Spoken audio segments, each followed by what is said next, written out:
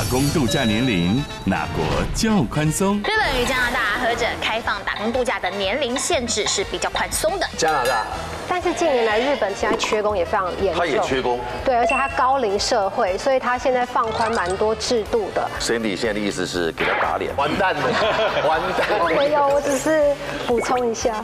脸肿肿的，脸肿肿。晚间六点，京都念慈全民新攻略。